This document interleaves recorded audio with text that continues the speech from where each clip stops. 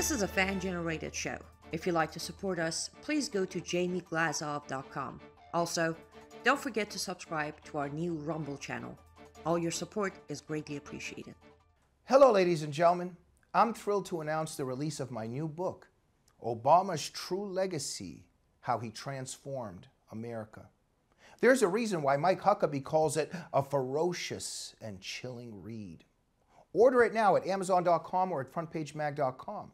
Good evening. Welcome to the Glazov Gang. Tonight, another fantastic program with another fantastic guest. Ladies and gentlemen, please remember we are a fan generated program, so we need all the help we can get. And even though the Lord has blessed us with Donald Trump, the shadow banning and persecution by the deep state has not disappeared overnight.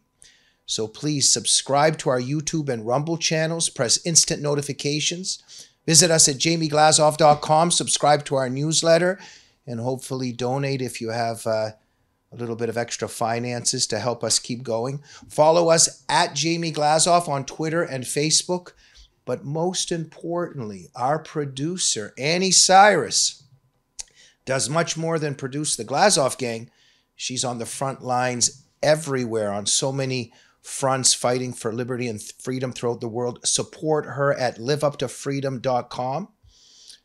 What an honor and privilege to have back, actually by popular demand, Jeff Crouere, talk show host, political analyst, and author of America's Last Chance. Jeff, what an honor to have you back. Jamie, always a pleasure. Thank you for having me. It's great to have you here, Jeff. Um, I want to start with this. This kind of been on my mind. You see Kamala's recent latest video? I did. You know, there's a lot to say here. Um, first, I wouldn't even know where to start. Okay.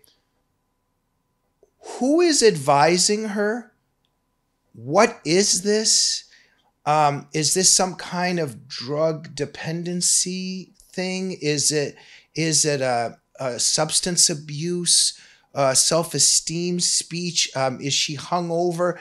It looks like a complete disaster, and uh, I think it's a reflection of what the campaign was all about, and I think what the Democratic Party is about. W- what's your reading of this video of hers? Uh, well, uh, Jamie, it was pathetic. I mean, she was uh, slurring. She was um, saying words that uh, didn't exist. She was glassy eyed. Uh, yeah, you know, she was unkempt. Uh, it, it, looked like she, you know, had been hung over. I mean, to be honest with you, that's how it looked and uh, she didn't look uh, clear, bold. Uh, she didn't inspire anybody. Uh, it was really pathetic. It was sad, and uh, it really reflected her campaign. I mean, she she blew through uh, 1.5 billion dollars and ended up in the red. And she had every advantage in the world from you know all the media behind her and United Democrat Party but um, she couldn't take advantage of that because she's just a very poor candidate. And Jamie, she doesn't know what she believes in, and maybe she doesn't feel like she can be honest with the American people. So she speaks in word salads and platitudes. Uh, I don't see a future for her, uh, Jamie. I really don't, politically. Thank you, Jeff. You you hit on a a lot of these uh, important themes here, just in terms of what the left is.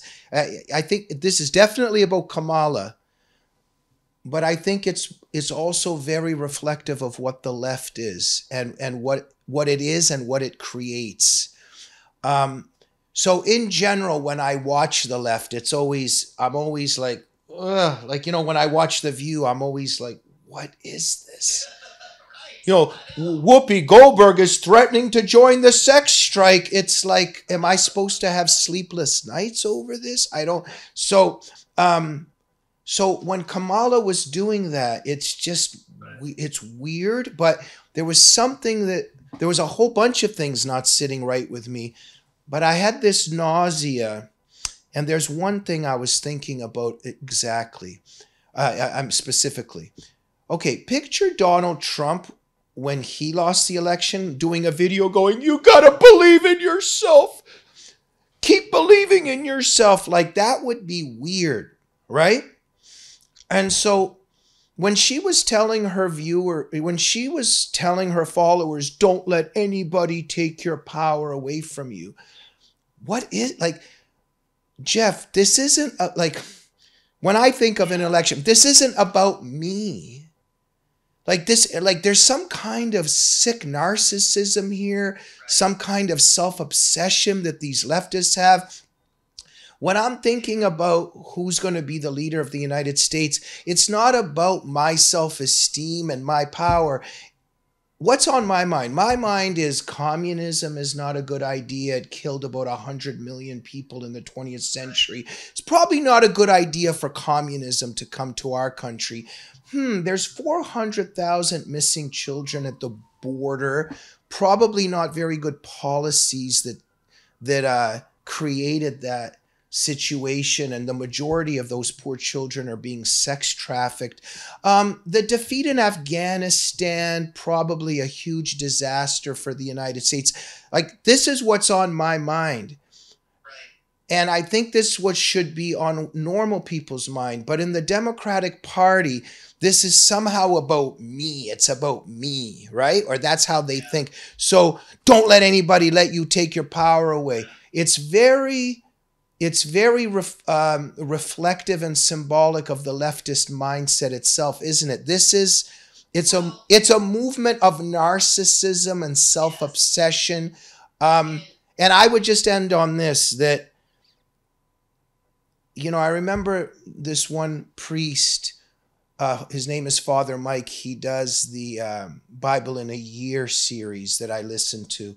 And in one, and there's some things in the Old Testament that kind of sometimes don't make sense and they're confusing. And Father Mike always reminds the listeners, he says, it's not necessarily why, it's about who. And the answer is Jesus Christ. And why I bring that up is it's about Jesus. It's not necessarily about us on many levels. You see what I mean? But go ahead, Jeff. No, you well, you made a lot of good points, uh, Jamie, and, and, let me just uh, share a few with you. I, I, think you're right. I think these uh, these leftists are very narcissistic. So I think it's about them. They lost sight of what the party really started with. I mean, the roots are a, a party that that cared for the working man and woman cared about the plight of people that were struggling. That's gone. So those people in the middle, those people that are working class, uh, those people that are struggling, they don't have a home in the Democrat Party because the Democrat Party is a party of the elite, the narcissists, the celebrities, the Wall Street types, your politicians. They care about uh, themselves and uh, making themselves look better and growing their power, their money their influence. It's not about helping people. It's not about moving our country forward. So that's one of the reasons why they lost because of course these blue collar voters have been moving toward Trump and they moved in big numbers in this election and the Democrats have lost their way. So Kamala just represents that perfectly. She's an empty vessel. She doesn't have any substance, but she's filled with uh, narcissism. She's all about, uh, you know, her uh, potential uh, power. She was going to be the first uh, woman of color as uh, president. And it didn't work out because she couldn't really say anything that connected with the American people. The only thing they really had was hatred toward uh, Donald Trump. And you're not going to win an election just uh, based on hate and name calling, Nazi and fascist and all of that. So she is not the future of the Democrat Party if they want to win.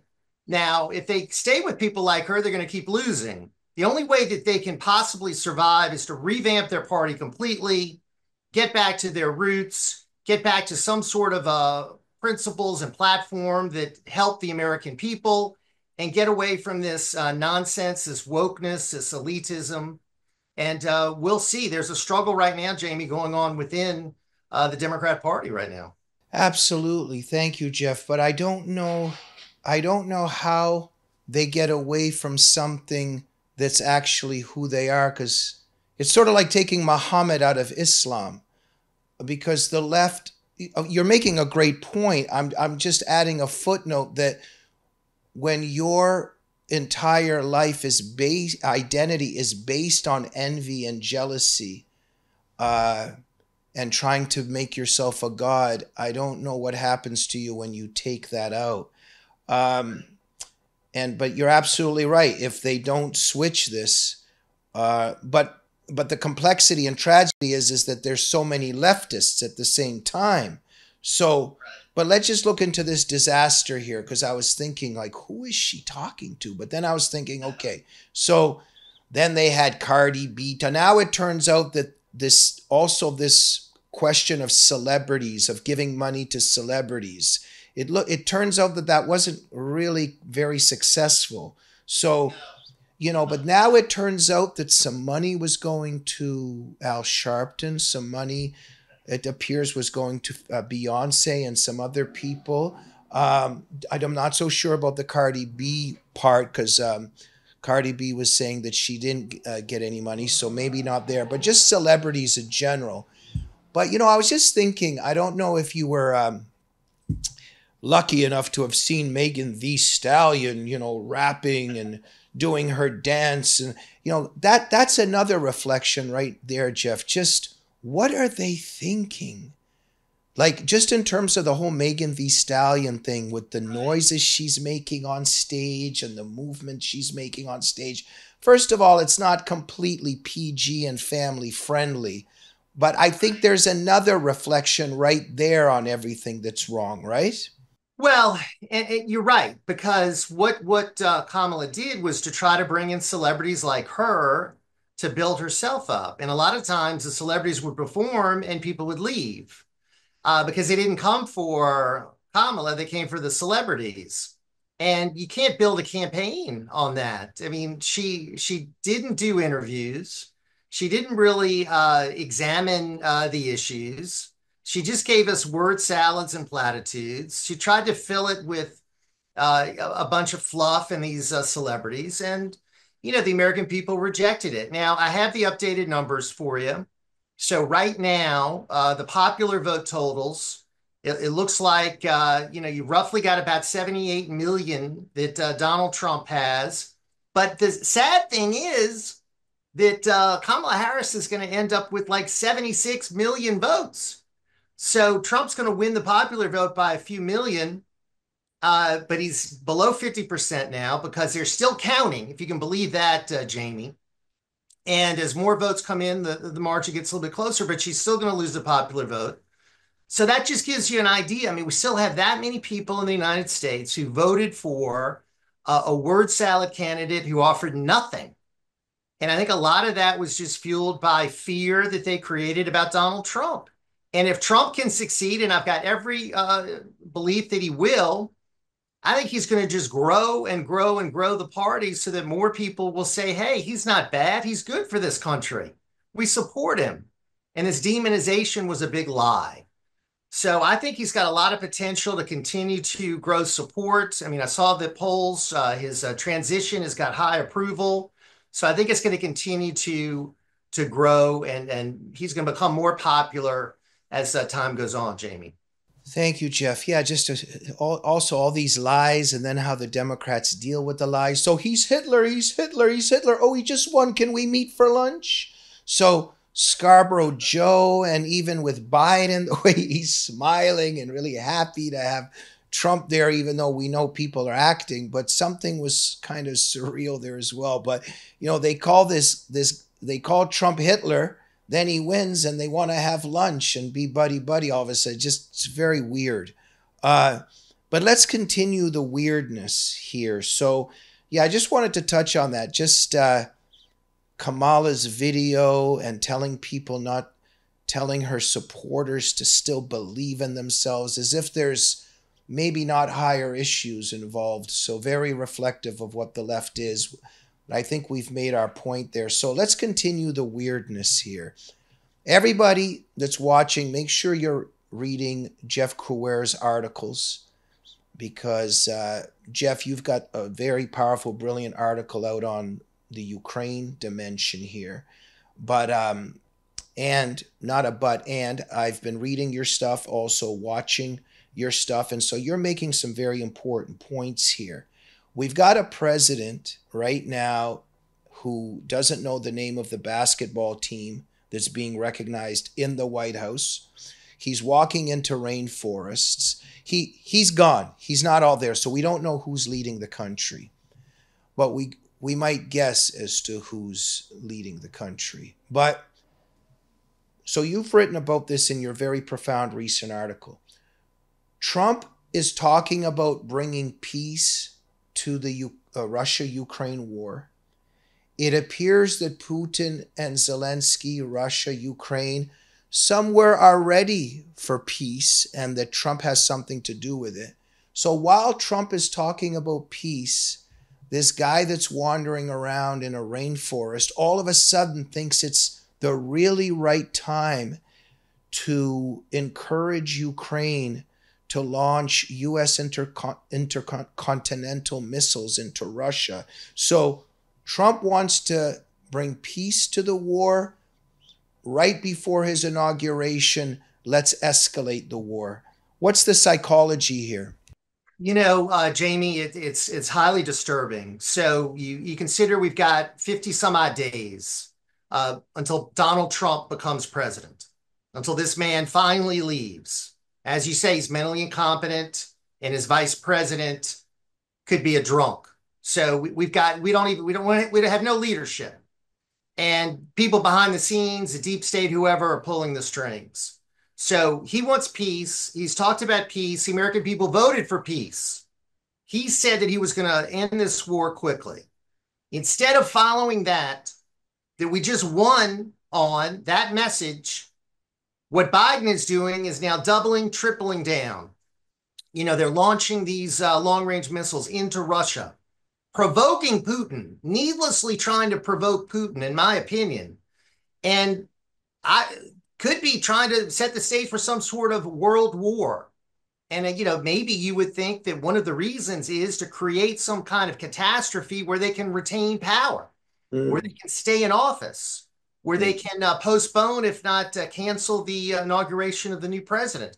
I don't know. I mean, I, I don't put anything past these people. They're evil.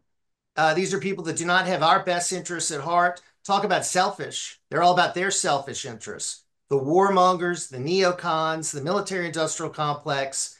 You know, since February of 2022, uh, hundreds of thousands of people have died. This thing, if Donald Trump would have been president, Jamie, would have never happened. But under this administration, it has turned into a conflict that keeps getting worse and worse. We should be leading the effort to bring about peace. But instead, all we're doing is funneling money to Ukraine. And and I've got no doubt, Jamie, a lot of that money is being siphoned off. A lot of that money is being stolen. A lot of that money is coming back to uh, deep state interests in this country and going to corrupt people in uh, Ukraine. It's a money laundering operation. So we've got uh, a real necessity that Donald Trump take office. He, uh, he announced uh, General Kellogg is going to be his envoy, his peace envoy to try to bring about a solution. That's a very competent individual. So I, am hoping and praying that we can get to January 20th so that we can have a president who's committed to a peaceful solution. Well, thank you, Jeff. And as you're bringing up this military industrial complex, we just see how how complicated all of this is because it's not just about like look if you want to find an anti-communist in the, in the world, you're looking at one. So, do I know who Putin is? Absolutely. Um, you know, I grew up reading Robert Conquest's The Harvest of Sorrow and, and learning about the forced Ukraine famine and what the Soviets did to Ukraine and to the Ukrainians. Of course, I'm for the Ukrainian people. Of course, I'm for all people that want freedom and this, of course, is is Sov- is Soviet imperialism, and of course, we're for Ukrainian independence and freedom. But is that really what this is about now? So, you know, growing up, I was also hoping and for when I was studying about the Vietnam War, of course, I wanted the defeat of the Viet Cong and of the North Vietnamese. But the more I studied and looked into it, was that war really about trying to defend South Vietnam? I don't know because the United States could have won. And uh, let's look at Afghanistan. Was that war really about trying to defeat Al Qaeda and the Taliban? So I sobered up in life in a lot of ways and began to realize that there's other forces up top that are pulling strings and things are not as simple as I thought that they were. So, are we for Ukrainian independence for Ukrainian people? Are we against uh, Putin's Russia marching into a country to take its freedom? Of course not. But is that what this war is about? What is this war about in your view, Jeff? I, I think it's uh, about enriching uh, certain elites. Uh, I think it's uh, about covering up our tracks in uh, Ukraine, where we've been uh, heavily involved for years. we had bio labs in Ukraine. That that issue has sort of been swept under the rug. You brought about brought up Afghanistan brilliantly, Jamie, and let's just look at that. We were in there 20 years. You know, when you count Afghanistan and Iraq, all the money we spent and all the money we are going to be spending uh, taking care of the victims. Because, of course, there were plenty of people that uh, came back forever changed. The cost we're looking at is between four and six trillion dollars. Now, we went in, the Taliban was in charge. We left, the Taliban was in charge. We went into Iraq to get rid of Saddam Hussein. Now there's a government there that's allied with Iran. So what did we accomplish uh, in Iraq? What did we accomplish in uh, Afghanistan? Uh, except uh, bringing about uh, pain and suffering for many of our heroes and their families, and they're just it's just tragic. And then I don't want to see us getting involved uh, in another war that is halfway around the world when we have got an invasion that's been going on in our country now for four years and we have got terrorists that are roaming our country because we've got 2 million gotaways. And you know that those are uh, terror cells in that number. So we're not even taking care of our own people. We're not really taking care of the people of Ukraine. We're just taking care of the elite and the military industrial complex. And Jeff, and so when you study it, you know, they, they, they show about Blackwater and all these other forces. So you destroy Ukraine and then you rebuild Ukraine, and people profit from that. Then you've mentioned uh, on on this show just a couple minutes ago. So they send a whole bunch of money to Ukraine, but where's the money really going? And a lot of evidence suggests that a lot is being channeled and funneled back into the Democrat Party. Uh, I'm not so sure that the Biden administration was really motivated uh, in this whole enterprise um, by the desire to really help Ukrainians? Oh, I think that was last on their on their list. I, I really do. Uh, it, it's uh, it's been about to, to help their their powerful moneyed interests uh, that are well connected in their party. And uh, just look at uh, the numbers. I mean, if we were really interested, uh, we would have been trying to bring a resolution to this so hundreds of thousands wouldn't have died. We could have used our influence to, to get a better deal for Ukraine, but we haven't been, and we haven't been doing anything. And all we've been doing is pumping money into it. Biden's trying to send another 24 billion, uh, Jamie, before he leaves. He just forgave uh, five billion uh, that uh, Ukraine owes us. He's doing this all without congressional approval. And a lot of this money that he sent there has been not authorized by, by Congress. So Russia, and I agree with you about Putin, he's no angel. He's a dangerous man, dangerous man. But Russia is the largest nuclear power in the world. So we have got to come to grips with the fact that we're we're provoking a country that has more nuclear warheads than we have. And that he's already said that these missiles are now causing him to change uh, their policy concerning the use of nuclear weapons. So do we want to test that? I mean, do we want to just say, okay, we're just gonna we're gonna provoke him and and hope that he's not going to follow through on his threats? Yeah, uh, I don't know if that's a good strategy to to rely on these next fifty plus days, Jamie. Absolutely. And again, I stress that, you know, where the Glazov gang stands is for the Ukrainian people to decide their own fate and how they want to live and their own society and without intrusion by imperialistic uh, forces that Putin represents. But let's be honest about the situation we're facing and what's really happening there and what the Democrats and Biden are really motivated by. So something seems very strange that just with a little bit few days before the inauguration of a president that is ready to bring peace to a conflict, Biden is escalating it, right? Exactly. And let's not forget what the Ukrainian people want. Let's listen to the Ukrainian people. A new poll that just came out showed 52% of the Ukrainian people want a negotiated end to this war now. Only 38% of the Ukrainians want to continue the conflict. Here in America, 51% of the American people say no more arms, uh, no more military equipment to Ukraine. We just elected Donald Trump. The people in Ukraine, the United States of America, are saying, all right, it's time to, to do something to bring about peace. Yet we're not going, we're going in the opposite direction. And, you know, I, I worry about where this is going to lead because now Britain and France are talking about preemptively, preemptively striking uh, Russia. They're talking about uh, adding yeah. their own troops into uh, Ukraine. And this and is while, going on right before Donald Trump takes office, Jamie. And and right while they're talking like that, Putin is announcing that Russia's going to lower the threshold to use nuclear weapons.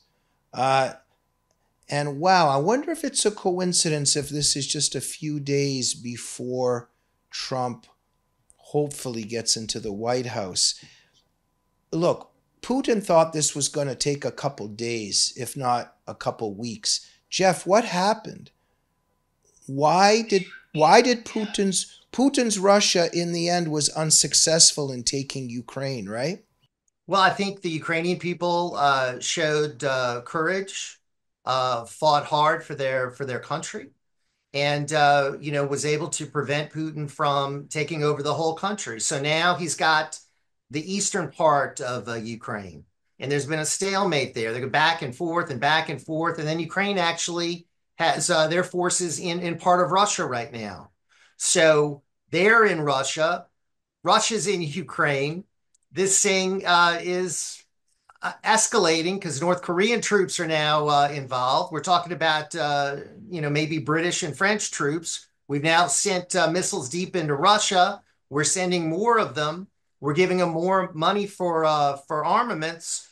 So instead of uh, you know, ratcheting down toward peace, things are spiraling out of control. So this is a very worrisome time, uh, Jamie. That uh, I think President Trump obviously has got his eyes on because I think behind the scenes, hopefully through third parties, he's talking to both Zelensky and Putin to tell them, "Hey, I'm getting in there soon, and we're going to change." this whole dynamic. Thank you, Jeff.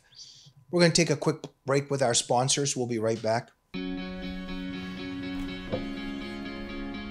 Looks like you've been sleeping well. Megan, he's back. The My Pillow guy. And you're looking good. Still feeling good. Well, just when you thought it couldn't get any better, we've got the best pillow ever, My Pillow 2.0.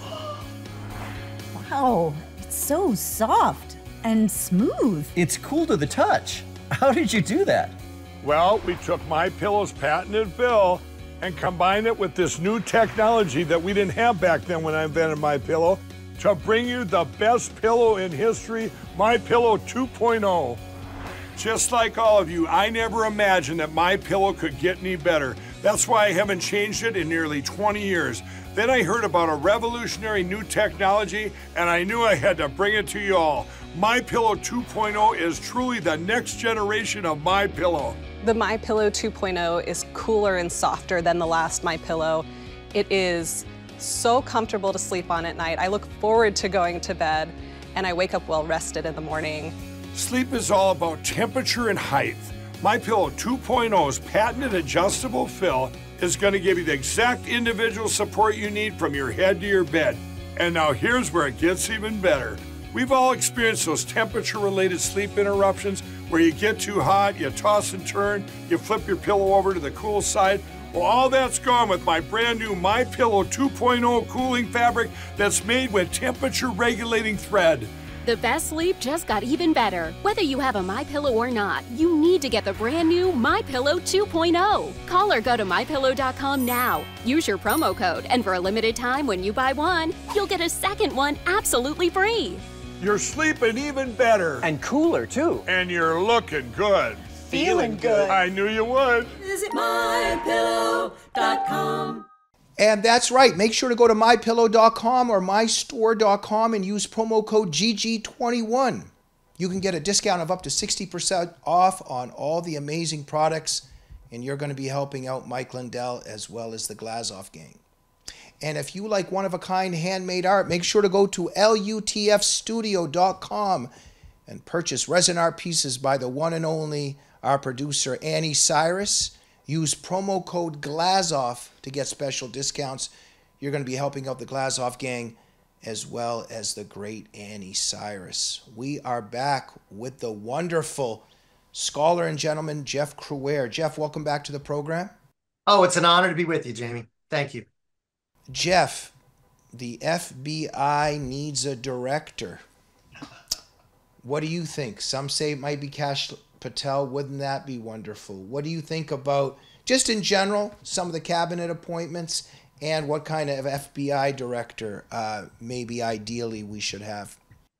We uh, we need an FBI director who's going to clean house, uh, Jamie. We need an FBI director who's going to bring the FBI back to the roots of uh, what the organization was created for. We need to get it away from the political uh, operations that they've been involved in, in in recent years. Remember, they were spying on Donald Trump from the very beginning. So the FBI was weaponized against Donald Trump. They raided his home with gun-toting agents. We can never forget that. So Christopher Wray has got to go, uh, Jamie. He has got to go. Kash Patel would be fantastic. Uh, I keep hearing rumors it's going to be Kash Patel. I hope it is Kash Patel. Overall, I mean, I think um, the cabinet appointments have been good. Uh, the, the the more MAGA the person is, the more I like them. I I was a big fan of Matt Gaetz.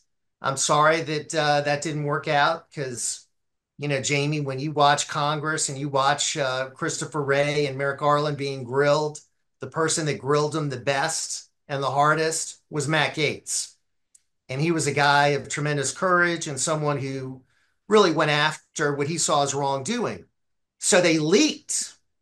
They leaked this report about uh, Matt Gaetz. That was NSA or some sort of deep state. Got the information out to sabotage his uh, nomination. He backed out. And of course, now we have Pam Bondi, and I hope she's going to be strong. I hope she's going to be very strong because that's the one problem Donald Trump had in his first term. He had too many establishment Republicans. He didn't have enough loyalists. He didn't have enough MAGA cabinet members.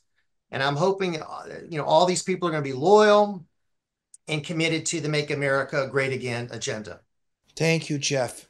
You know, when I was looking at Obama at that funeral when he was talking to Biden, and then the way he was speaking at some of those uh, campaign events for Kamala, the way he was reprimanding, you know, the brothers, as he was saying uh, about how they're not voting for Kamala, he he not just looked upset, he looked worried. And I'm thinking, I think he has a lot to worry about. And what I'm tying this into is if Trump comes in and brings in all these great people, and they start looking into what the CIA has been doing, what the IRS has been doing, what the CIA has been doing, what Obama was doing, um, maybe people like Obama and others might get into a little bit of trouble. What do you think? I think that's a very shrewd point. Uh, he did look worried. He uh, he wasn't the. Remember, Obama used to be happy-go-lucky and Mr. Cool, and uh, someone with a lot of charisma all that was gone. It was a, a Obama that was scolding people, an Obama that was yelling about Trump, an Obama that was worried. So you're right. He never paid any price for Benghazi, for mm-hmm. Fast and Furious, for sicking the IRS on Tea Party groups, for Yeah. laying the trap that ensnared Donald Trump in the whole Russia collusion nonsense, because that was all phony, as you know, Jamie. And Yeah. Obama was the mastermind of all that. They met in the White House with Joe Biden. They laid that trap.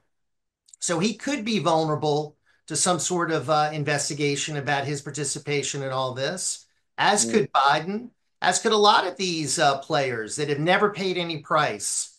Mm. Hillary Clinton never paid any price for what she did, uh, Jamie. So I'm Yeah. not looking for retribution. I'm just looking for justice. Let's just have a DOJ that'll be a Department of Justice, not injustice. And I hope uh, we'll have that under this uh, AG. Now, speaking of justice, Jack Smith, it appears, has surrendered. I mean, look, they tried to kill Trump. He turns this way, some kind of miracle. They try to do this, this, this. I mean, they have tried everything. Then all, all of this lawfare, but it looks like all of these lawsuits are crumbling. What do you think of the Jack Smith surrender and, and the other uh, the other lawsuits? You know, it was all lawfare, Jamie. It was all to uh, destroy Trump. Uh, he he came down that escalator nine and a half years ago, and it has been an unrelenting uh, attack on him. Every possible way they could do it, they did it. And the lawfare was just part of it the mugshot, the raids, the impeachments, the indictments, the criminal uh, convictions, the civil cases. All of it was to try to stop him. And he said it in a post the other day. He said, against all odds, he persevered and he won. And he did it with uh, the help of God Almighty because this is a man who's uh, protected by God. You, you, you just said it in that assassination attempt. A millimeter here, a millimeter there, he's dead on live national TV. And it was only through God that he is uh, with us today. There's no other human on earth, in my opinion, that could have survived what he survived. I mean, Sylvester Stallone, I don't know if you heard his comments at Mar-a-Lago, said that he's almost a mythical character. He called him the second uh, George Washington. It's Right. uh, it's God. God has saved this man for this country at this time, and we're so blessed to have him in place. And uh, that's why I'm 100% uh, behind him because of the importance of what he's doing. But these enemies, they're not going away, Jamie. The enemies are still there. They're still going to be trying to sabotage everything he's doing. Well, look at all the death threats uh, that occurred today towards a lot of the cabinet picks, right? Well, yeah, I mean, uh, even Matt Gaetz was one of them, uh, former cabinet uh, nominee, and all these others, Elise Stefanik and Tom Homan. You know that they're going to try to stop uh, Tom Homan because he's talking about getting serious about deportations, and and uh, he's got a big job in front of him. So all of these people need to be protected because they're going to be implementing the uh, Trump agenda, which these uh, opponents are going to be steadfastly opposed to. And that's the problem with these people on the other side. Uh, they engage in violence. They uh, they don't have the the ability to try to you know give Trump a chance. They want to just uh, oppose and condemn uh, everything he's doing without even an opportunity for his policies to succeed. You know, last time he got elected, Jamie, they started impeachment before he even took the uh, oath of office. Madonna on the first day he was president was talking about blowing up the White House. Think he never had a honeymoon, never had a chance. Mm. I'm hoping this time there'll be enough of the people on the left, like Bill Maher says he wants to give Donald Trump a chance. Hopefully there'll be enough of people like that that'll say, all right, let's see if his policies can work. We've got J6 people in prison uh, for just walking around. But uh, somebody that says they want to blow up the White House when Trump comes in, I wonder how much time Madonna did in jail for that. Hmm. Zero, as did uh, Johnny Depp, who said uh, wanted to assassinate uh, the president, as did Robert De Niro, who multiple times said he wanted to punch out uh, the president, as Kathy Griffin holding up a bloody head of the president. Uh, nothing happened to any of these people. Uh, they make threats against him constantly. But that's justified because the left is the party of joy and they have a right to threaten and inflict violence on those racists and racists and fascist Republicans. Jeff, this is going to be very interesting. Uh, Trump is throwing out some hints that uh, maybe the establishment media might not be uh, filling up the briefing room anymore.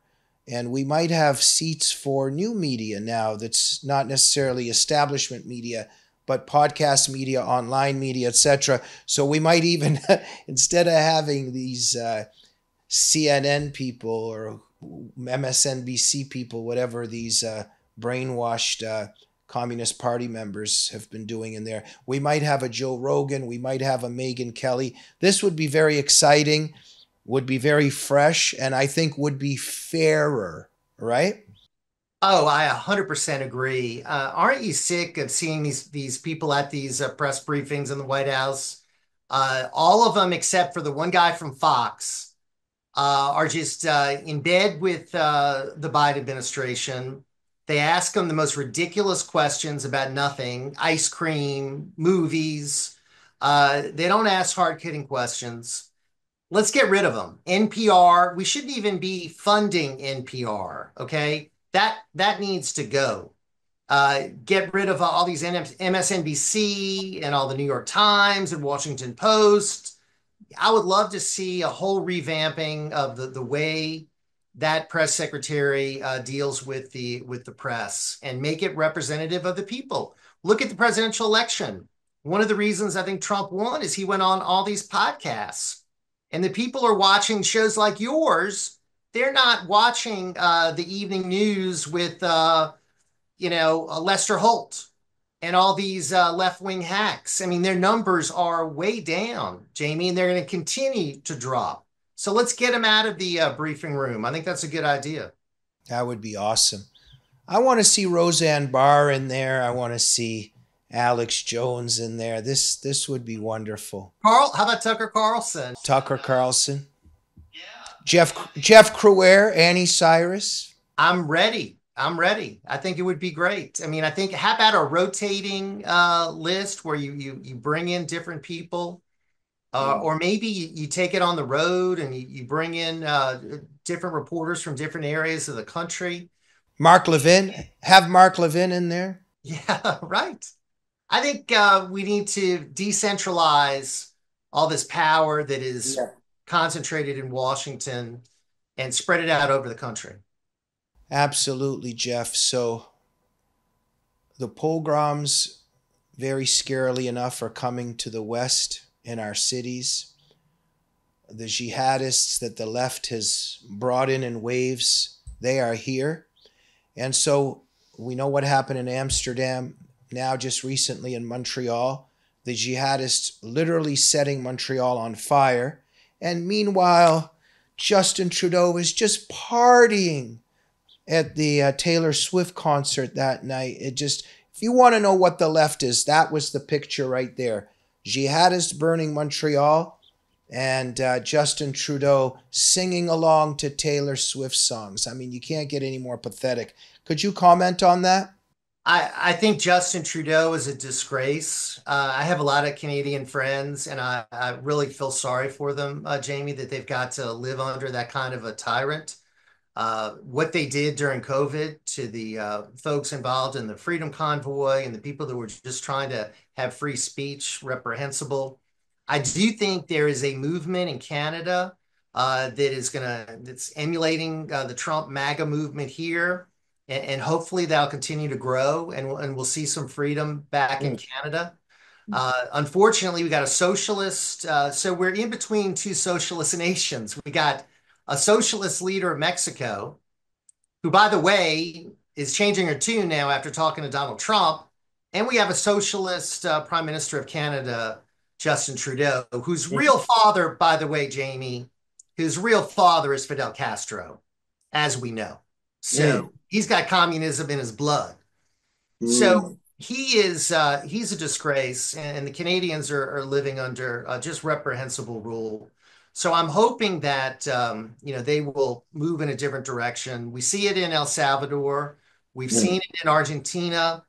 We hopefully need to see the freedom movement grow. It could be happening in Romania. We see it in Hungary. So now maybe people will feel emboldened now that Donald Trump has uh, been elected here. But as far as the uh, jihadists, I am worried about uh, what's happened over the past four years because I think they're sleeper cells. I think they're positioned uh, all over the country, Jamie. And we definitely can see where I'm not necessarily criticizing the police um, as individuals or even I think that they're getting orders. So so in another thing is whether you follow the orders. So in UK, Tommy Robinson is in prison for making a movie about uh, excuse me, making a documentary about the sex trafficking of uh, young uh, British girls by uh, the Sharia followers, if that's one way to describe it. So he's in prison for that, while these Sharia followers and jihadists are all over the streets of the UK and nothing is being done to them. And the police are arresting the people that want to protect England from Sharia.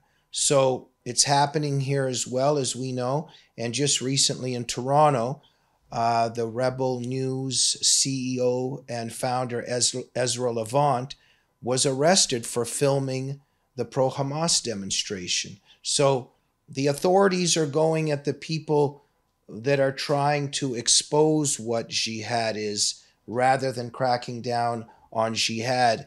And as some authorities in Britain have whispered and also said to the freedom fighters, they say, hey, look, there's more of them than there are of you. So our authorities in the West are afraid to confront the jihadists and arresting people like journalist Ezra Levant.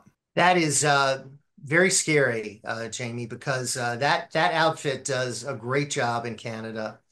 Uh, Tommy Robinson, I think, is um, a man who believes in freedom and, and, telling the truth. And of course, they're going after him and his supporters. They don't really have freedom of speech. Mean, they don't have the First Amendment. So we've got the First Amendment in this country. That's what makes us so unique. I mean, we have these rights, these precious rights. And remember what Biden did to us uh, during COVID. He tried to take away our First Amendment rights. Yeah. Uh, they tried to censor us uh, online. They tried to force us to uh, wear masks, force us to uh, take uh, vaccines. You know, we honored here in uh, New Orleans the other day with the group I'm involved in, the, the federal judge who issued the key rulings against all of these crackdowns. He was based in North Louisiana. Terry Doughty is his name. And he's a courageous, one of the few courageous judges that would issue ruling saying what Biden did was an attack on our First Amendment rights. Mm. And it was. So we need to get back to exercising those uh, free speech rights. And I think we are under, you know, under President Trump. And and uh, hopefully we'll never go through the four years. This has been hell, Jamie. It's been been hell on uh, the American people. You're absolutely right. How refreshing to uh, have the good guys win for a change and to be coming in, hopefully. Excuse me.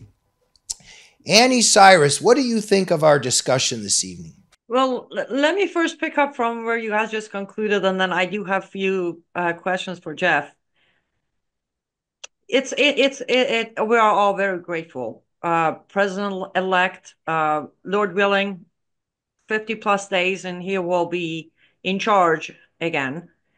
But I, I do want to agree with yes, we will be hopeful. But remember, last four years confirmed at least by their own shadow government, uh, we have more than 2,000 sleeper cells in America. If all fails, they won't hesitate to unleash them. So, more than ever, the first year of President Trump, we need to play our role locally see something, say something. Noticed. D- don't go happy countries coming back to normal because these people aren't going to give up. And and not to drag this too long, but with all the changes that is taking place in Islamic Republic of Iran, including possibility of replacing the supreme leader to have a younger supreme leader who can quote unquote stand up to Trump, we're, we're not past the terrorist uh, danger yet. It's going to take a good year, depend on who's in charge of what. We might get it under control, but please be careful and pay attention. And all of your lovely, nice, moderate, beer drinking, pork eating neighbors aside, there are still about 2,800 mosques across this country. Now, that being said, uh, Jeff, if you want to make a comment, go ahead. No, I mean, I think you you uh, hit the nail on the head. I mean, we're we're going to be in a very dangerous uh, period for quite a while because of what's been done to our country. When you allow in 20 million people, you allow in people from 170 nations, you allow in people that are terrorists, that are jihadists. And uh, yeah, they're set up all over. And uh, yeah, I, I, agree. I think they're going to be uh, looking to uh, commit acts of terrorism, no doubt about it. So that's why I think the work of uh, Tom Homan and the Border Patrol is so important. I mean, we got to immediately secure the border, so we got to stop the bleeding, and then we have to start the uh, the long, slow but important process of deporting uh, these people that are here illegally, that are lawbreakers. Agreed. Now, here's a question for you, or more like, what are your predictions? Completely uh, something that I feel like it's going unnoticed. A few days left for Biden. What do you think he's going to do for his son, Hunter Biden, before leaving the office? I don't think he's going to do anything with Hunter. Uh, I think Donald Trump might commute his sentence uh, when uh, he's already hinted at doing that. So I think uh, he's already um, got a good feeling that Trump is going to do it, and, and Trump said he was going to do it to try to bring the country together you know, my my view on this, uh, Annie, is Republicans always try to play the nice guy, and uh, Republicans always want to, uh, you know, reach out to the Democrats and work with them, and you know, be neighborly and you know, forgive and forget. Democrats never act like that toward uh, Republicans. I mean, they they never do. It's cutthroat. Look at what they did to Donald Trump. So I think if the roles were reversed and it was uh, Donald Trump Jr. looking at uh, a long prison sentence I don't think uh, Kamala Harris would be uh, pardoning him. So I don't know. I don't know what's going to happen, uh, but I think um, President Trump has hinted that uh, that's what he's going to do. Yes, and and I agree with you, but but I, I am going to have the unpopular opinion here. As you mentioned at the beginning or early on in this uh, episode, this country we we we're, we are beyond one commute sentence to be united again. Less than half of this country still think Kamala Harris should be the president. That mindset won't change over one move by Trump. So I personally pray that he doesn't, because as you said, justice needs to be served. And what Hunter Biden has done, he needs to face the consequences. Now, very yes. last question. I promise this is the last question um, with the cabinet and the picks, and of course there are still many positions to be filled. But there's another major move that's going on in the country, and that is the mainstream media. So between the two options, going to buy MSNBC, which one is your preferred? Elon Musk or Jack Posobiec? That's interesting uh, because uh, I, I, do think Elon Musk uh, is serious about it. Uh, it seems like uh, you know that became sort of uh, an odd suggestion. I think it was Donald Trump Jr. who made the suggestion, and then all of a sudden, you know, Elon Musk jumped on it. I mean, he's he's the richest man in in the world. You know, in, in just the, the past few months, his his wealth has grown by tens of billions of dollars. So he is, I mean, he's just, I mean, he could buy MSNBC in a blink of an eye. It would be nothing to him. So uh, I, I, I think that might very well happen. I mean, I hope it does. I mean, MSNBC is a disaster. I mean, I watch them just to see what the other side is doing. And I mean, they're worse than CNN. At least CNN has a token conservative on there, uh, Scott Jennings, who at least is able to present the other side. I don't see that on uh, MSNBC uh, at all. If I could just say one other thing about pardons, um, one thing that's near and dear to my heart are the uh, J6 uh, prisoners. And uh, I hope President Trump is going to pardon all of them. I would like to see a blanket pardon of all of these people that have been in jail, some of them for years without their day in court, without due process, without a trial, for walking into the Capitol. Uh, these people were not carrying, uh, you know, machine guns. I mean, they weren't trying to, uh, you know, blow up the Capitol. Uh, they were there because they believed the election had been stolen, and they're uh, in jail unjustly. So I really hope they're all going to be pardoned, uh, guys. That's that's what I'd like to see on day one. Yes, I'm with you on that. Agreed. And uh, quickly back to Elon, even though I am not a Elon Musk fan, I will credit the man. He fixed X. He yes. has proven on his resume if he does take over MSNBC, we might have a, a strong truth telling uh, mainstream media back on air again.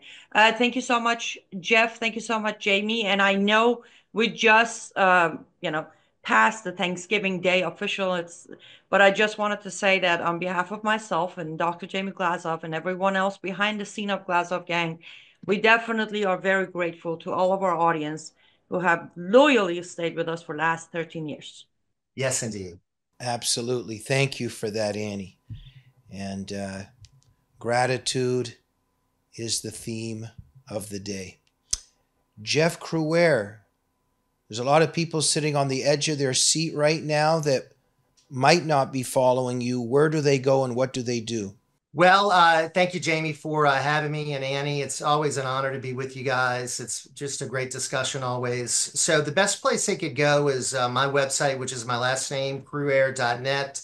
And I have links there to uh, my columns and, and shows and and uh, all the work that I do, my book. And uh, I do have a poll up right now where I'm asking who the biggest loser was in the 2024 election. People can chime in on that. My new video is up there about the cabinet so they can check that out at my last name, Crouere, C R O U E R E dot net.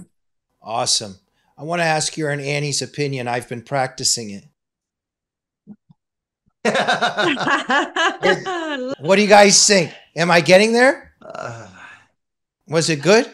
Practice makes perfect, Jamie. So, you, okay, now Jeff, you want to try or the next time? I, I, I mean, yeah, it's it's more of like a. It's not I think it's more of like, you know, it's it's closer in like this, you know. And then of course, then he gives the old the golf swing. so it's so awesome. It's so awesome. And uh, Annie, maybe one day you will do the Trump dance for us, right?